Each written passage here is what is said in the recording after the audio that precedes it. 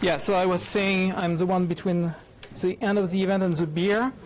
And I'm, as, as you, probably very tired by the event because there have been a lot of sessions. So uh, my goal here is to make a, a, point around the Redfish standard. And how many of you have heard about Redfish? Using it? Okay, great. So my name is Bruno Cornec. I'm working for a hardware manufacturer company which I will not necessarily name here because I'm on my own for the travel, so uh, you will guess uh, during the, the slides. Uh, I've been involved in various open source projects in the last 25 years, and I'm interested in Redfish around the Python project that we have been doing in a small team of people. Um, first, I would like to just to remind some definitions around what, uh, what we are dealing with. So everybody is aware of what a REST API is? Yes? Okay an API. It's clear. It could be. It could not be just REST. It could be POSIX. It could be Xwindow. It could be whatever library defines a, an interface between uh, two environments. Uh, JSON is clear for everybody as well, I guess. Structured format, great. Uh, OData. Okay.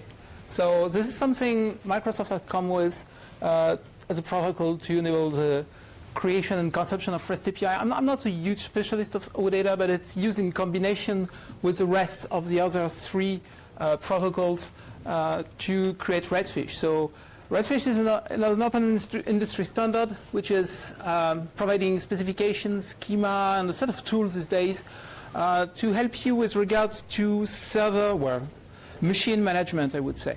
Uh, it started on the server side. And the goal is to, uh, if you are familiar with the notion of BMC, so an onboard uh, chip on the on your machine, which allows you to do, which is completely separated from your operating system, your operating environment, which gives you access through through a, um, a network port to another operating system running there and giving you information uh, and ways to manage your server out of band. So this is what the BMC is doing, and there have been a lot of uh, standards in the past to try to help you manage at scale uh, a fleet of servers. And typically, uh, you used to, to have something called uh, Smash, for example, uh, which was a command line interface tool created by the DMTF, the same guy who are creating Redfish. And Redfish is, uh, is, is, there because Smash did not really succeed. W with aware of Smash in the room? Okay, one. Uh, was used smash in the room? Okay, so that's why. Um, so it was pretty complex. It was really uh, not standardized across vendors. So it was really difficult to, to deal with, and you, have you had to learn uh, a, new, a new interface each time you were changing from hardware manufacturer, which was not really nice. So that's not one of the goals of Redfish. Redfish is really there to help different manufacturers to agree on a hardware representation of your machine and an API sustaining that hardware representation so that you can have access to the same hardware components in different manufacturer servers the same way. Um, so it's using, as we were mentioning earlier, it's a RESTful API. It's based on, on JSON, and it's also using OData for some representation. Uh, the goal is to have a much better hardware support than what was provided before. So the ancestor, I would say, of Redfish was IPMI, uh, which had a certain number of drawbacks. Um, especially it was not really secure. It was pretty cumbersome to use. And it did not provide a lot of hardware information on complex hardware setup. Complex hardware setup could be blade system with chassis where you want to have address you want to address multiple servers inside a single enclosure having a single management interface or multi-node platforms.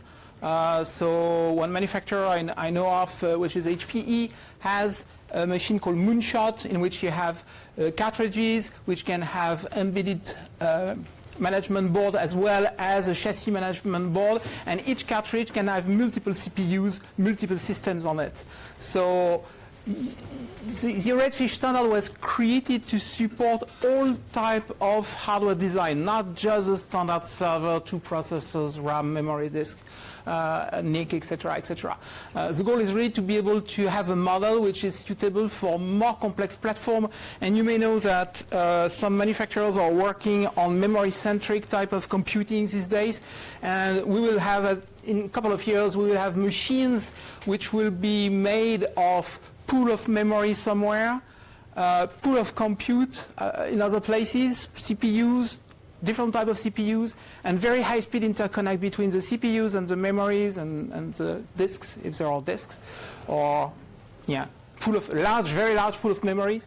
And so the Redfish standard should be able to support those new type of design of systems that will happen in the coming years. So it, it really has been architected uh, that way. Uh, of course, when you gather, I don't know, 10 different hardware manufacturers around the table and uh, you say to them, okay, uh, let's talk and make a standard, uh, it's pretty difficult. Each one wants to have the best support for its own hardware, hardware servers, hardware uh, platforms.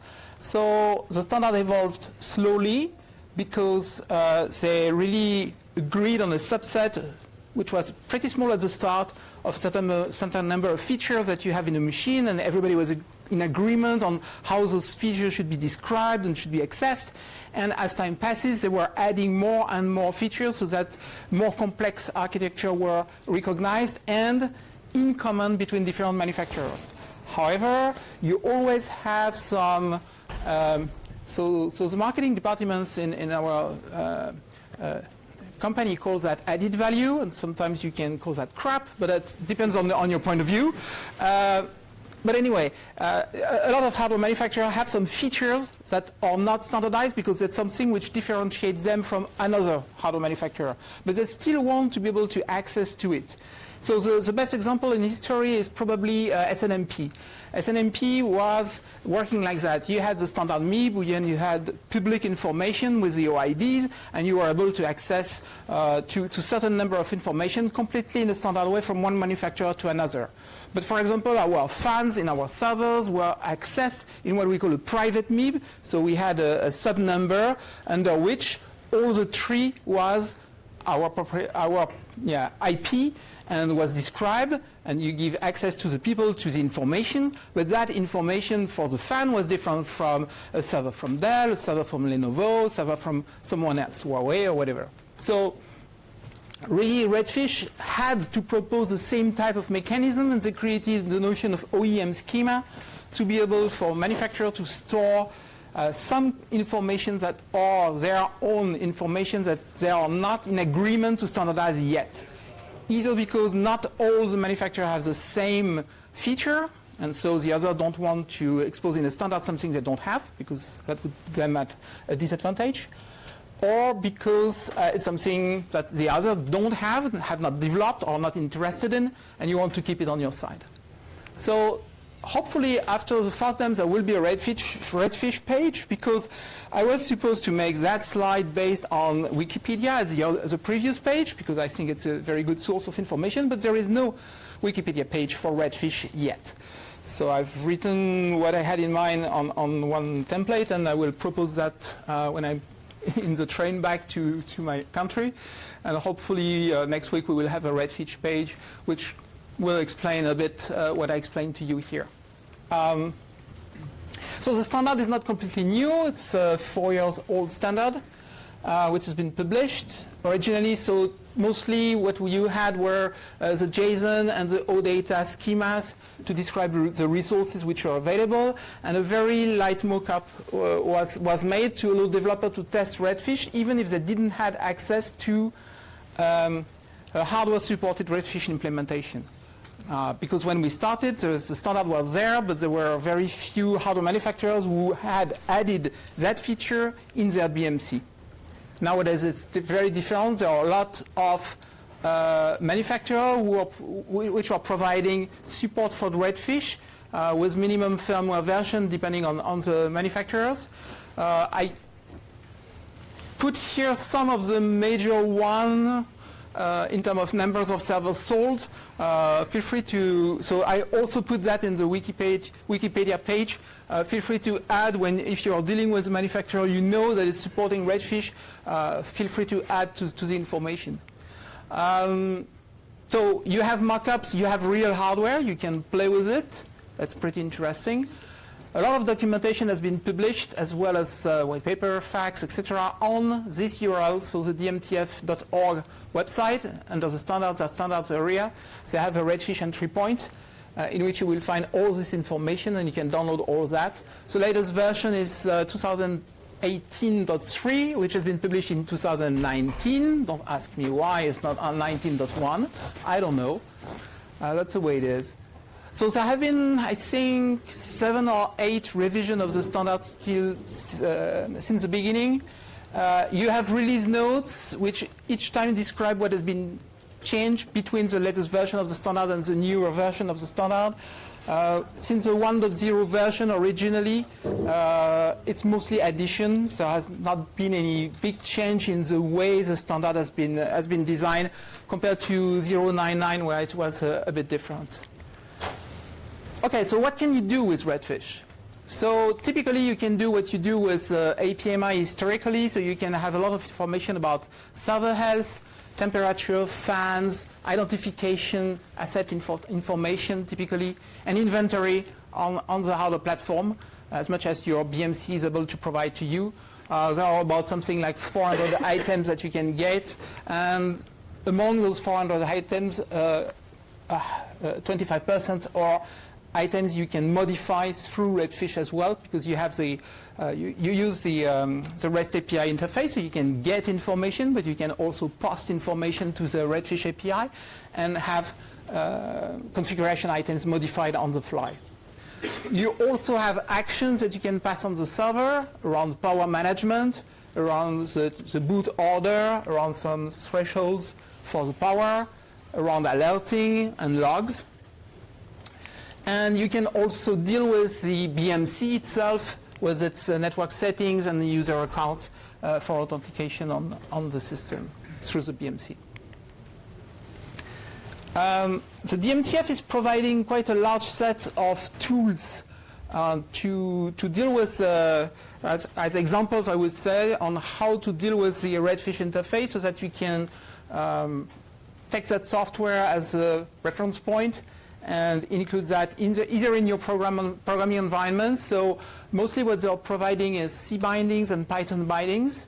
Uh, there are some CLI tools, and there are more and more tools available. Not all of them are working for all of the Redfish implementation.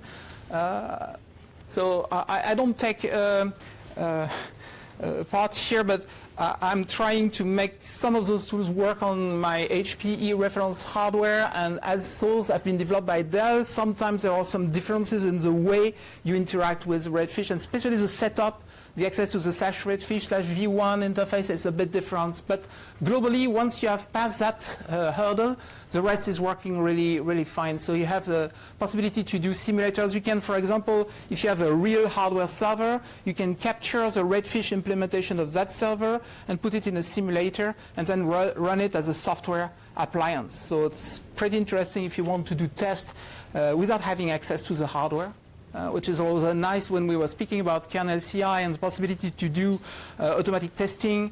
Uh, that's one of the features which is pretty interesting. Um, what else? So um, personally, with a group of people, we started the Python Redfish initiative. I have another slide on that. A couple of years ago, I've been ill last year, so I've not been able to work on it. I, hopefully, I will restart that uh, this year. Uh, the OpenStack guy didn't want to wait till we fix some of the issues he identified, so they created another uh, Python library called Sushy. Uh, there is also another Python library in the, in, on the Redfish DMTF. So everybody is, is, is, in love with Python these days. I'm missing my Perl bindings. Uh, that's why I, there is a comma here, and I, I, need to do something for that.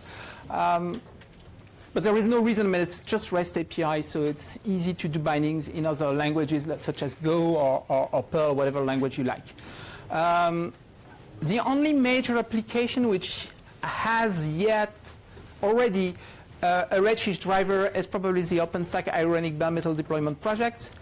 Uh, I don't know of any other tool which has integrated a Redfish support to do automatic inventory or automatic deployment, for example, based on the type of systems that you could have. You can have a lot of ideas uh, using this type of tools. Uh, I, will, I will go into it. So the data model looks like this one, but I won't pass too much time on it. What I will do is more go on to um, directly the, um, the live one.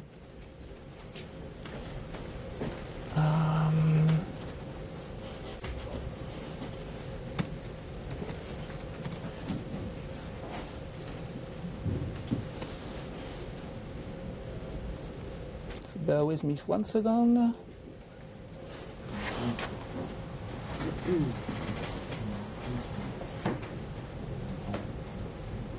So I will just explore the mockup for a, a simple rack-mounted server. So this is on the DMTF, uh, directly the DMTF website. They are not on swing very quickly. Um, so they provide a certain number of, uh, of mockup for uh, simple rack-mounted servers or OCP machines. They have blade systems. Okay, interesting. Hmm. And so when you explore the, uh, the data model, it looks like that. So you have your entry points, which are, so these are the OData stuff. I don't know why we are in need, I need to discuss with the guy because I don't really understand why we are in need of that instead of just plain JSON. Um, and you can have fields directly, and you can have, of, of course, collections available. So uh, here we have a single system, but you can have the notion of chassis. So for example, if you go on the, on the blade here, you would have more stuff. You have the manager, which corresponds to the BMC. So for example, if you look at the manager, you have just one BMC on the server. And if you go on the, on the BMC, uh, so this, is, this one is not a real physical server, it's just a fact one uh, to, to show what type of fields you, you can get.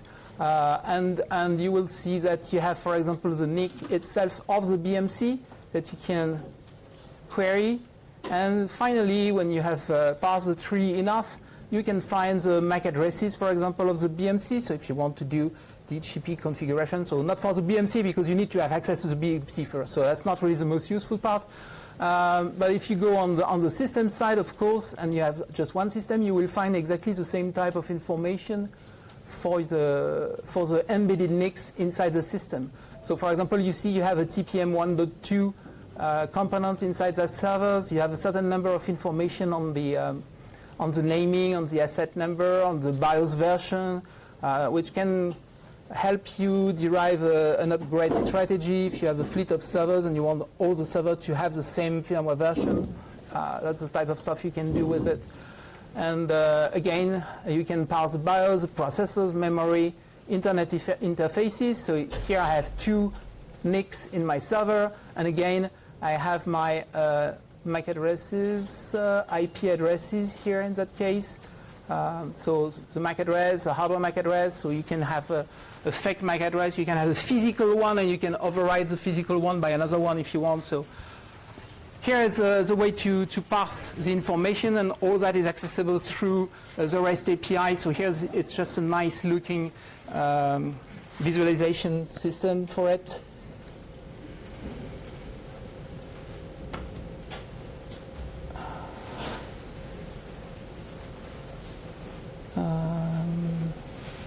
Okay, let me just go back. So for those of you who are fan of, of Python, there is a, so a, work we've done around Python Redfish with a couple of people initially around OpenStack. We use uh, Python request Tortilla to map, in fact, the um, uh, the data model of Redfish in, in memory and being able to parse it very, very easily. Uh, our goal, and, and, that's still a work in progress, we have a, a mockup for that, but it would require a bit more development.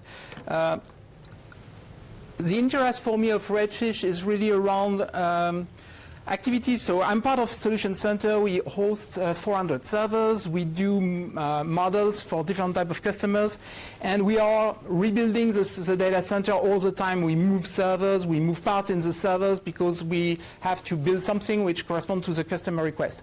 And the idea is to say, okay, how can we automate the, the management of those changes in relationship with our CMDB? So we have a CMDB. But each time you change a RAM from one server to another, your CMDB is wrong, except if you do manually the operation inside the CMDB, which is very time consuming and a stupid job. So uh, the idea is to really use, well, it's not stupid for the people doing it, but it's, it's you, you, can use your time in a better way uh, and drink beers at them, for example. But uh, so the idea is really to say, okay, if I could create my hardware platform so that this part of the inventory is always up to date and pushed into my CMDB, that would be great. So uh, what we want to do is have a, a, data model of, for our servers in the data center which are looking like the Redfish one because we don't want to reinvent anything. And we want to map that data model to the CMDB data model we have. And the CMDB we are using is an open source one called iTop. And so the data model of iTop is a parameter. So you can change the data model the way you want. So we can very easily map the two data model. And each time we modify something on the hardware side, pull information through Redfish call into the CMDB. And the CMDB is uh, working by erasing information which have changed, but keeping all the rest of the information which have not changed. So it's pretty easy to use, and that would allow us really to uh, improve the, the time that the people pass on maintaining that CMDB and just maintain the information that only humans can maintain, not machines. So that's one of the uh, area where Redfish could be very useful, in my opinion. Another area could be on the deployment. So if there are Red Hat people in the room, uh, for Anaconda, for example, on RHEL, uh, you could have a look at Redfish to try to grab hardware information from the Redfish schema and detect automatically a certain number of uh, hardware information that leads to um, device names or uh, hardware setups that could be easier to do uh, using Redfish directly in a portable way. The, the, interesting part is that you do the Redfish call, and whatever the nature of the server you get, then normally you should have something which drives a, a decision which could be the same for all manufacturers. So that's really the type of ideas uh, you, you can have around that. Um, so if you want, it's on pip. If you want to look at it, uh, it's, it's, it's, that's one version available. You can also look at the DMTF stuff as well. I'm working on uh, the mockup to uh, automate the test of uh, our, our uh, client uh, with regards to the DMTF mockup so that it works correctly. any question?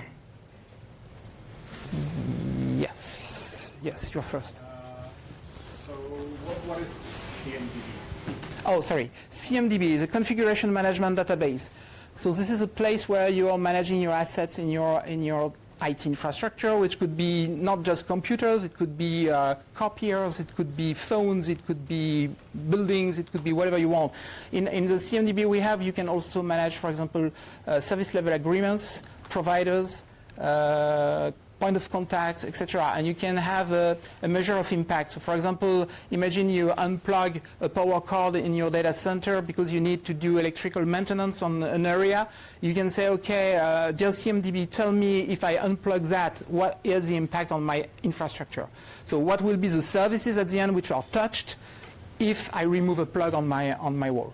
So that's the type of service a, a good CMDB is able to, to give to you. And the, the more the CMDB is up to date, uh, the more precious it is for managing your environment. And the more automation you can put in it, the best it is, because if that information is correct, it's coming directly from the hardware. Um, you had one question? Yes.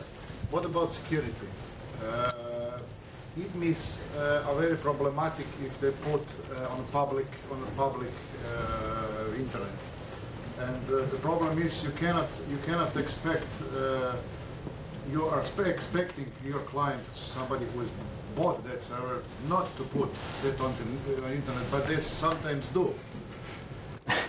okay, so with regards to security, uh, customers should never put a BMC on the internet. That's clear? Of course, but they do. Change customer. Uh, I mean, I mean, teach, no, teach to your customer. Teach to your customers is a really, really a bad idea. Yes, it is, but you can find millions of IPMIs open online. And uh, it will not improve with IoT devices, which are also sometimes on the internet and are sort of BMC somewhere. I, I understand. Uh, the Redfish protocol is HTTPS, Okay. so you need an auth- authentication mechanism to be able to log onto the system. So it's as secure as your uh, authentication schema is. But usually that uh, IPMIS and uh, uh, uh, that, that uh, IPMIS and BIOS is never update. Usually, you should never update that. So, so the problem, uh, as you mentioned, is, is an update, for example, update of version of BMC firmware, and, and that's true, and, and that's, I mean, the BMC is, should be managed like a standard system, so people should pass their update on a regular basis. They should automate that, if possible. Uh, they, they should, I mean, that's part of the CI environment for managing. It's as, as an operating system, you are upgrading your operating system. You have a, a workflow, you have a approval for upgrade, you have tests, etc. You do, sh- you should do exactly the same for mana- management of the BMCs on your servers because that's as critical as the rest, Yeah. even if it's not on the internet. Some vendor doesn't maintain it, uh, and are, some of them are using uh, uh, old technology like Flash and stuff like that, and after they are not uh, maintaining. On top of that, the, usually the BMC can be configured to be shared on the, the first LAN, uh, the first NIC, and this can be dangerous as well because they can True. be aware that uh, uh, that the, the NIC will take uh, from the DHCP and IP that might be public as well. Yeah, so comment is that uh, uh, there are problems with the software implementation on BMC, so the software stack used on BMC, uh, the fact that it becomes obsolete, and the fact that it could be shared with uh, the first NIC of the server, uh, the, the access to the BMC. Um, I would say make tests with your hardware manufacturer before buying this uh, hardware. Uh, and include tests on the BMC as part of your evaluation of the platform. Uh, there are good providers that don't do that anymore. that may used to do that in the past, but don't do that anymore. But yeah, I agree. It's, uh, I mean, Redfish has not a goal to solve those security issues per se. It's a, it's a way to do secure management because it's encrypted and it has an authentication mechanism compared to IPMI, which was really poor, or SNMP, which has also a certain number of other problems. So it does not solve the, uh, the hunger in the world, but uh, it solves some of the problem.